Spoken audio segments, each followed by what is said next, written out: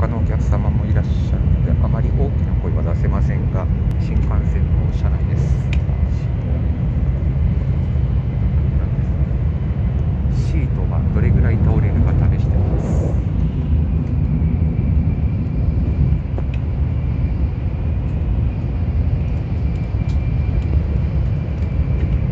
結構倒れるんですよ。それと足元もね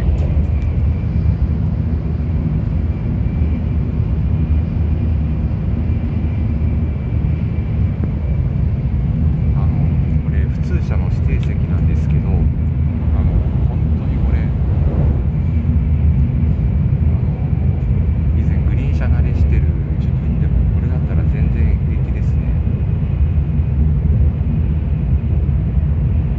でも時間があれば高速バスの方が快適かなとは思うんですがあの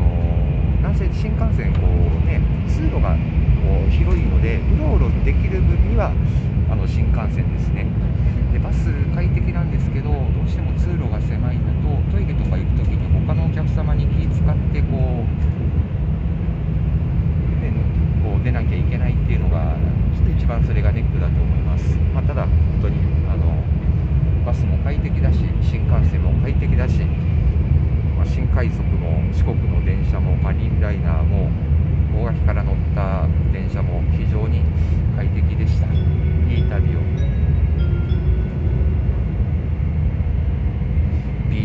アンビシャスというあれです。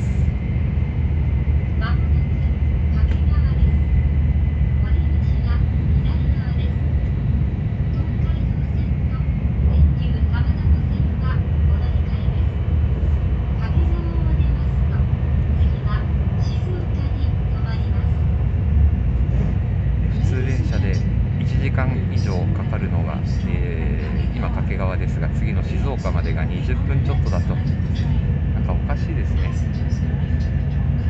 ということで車内からは、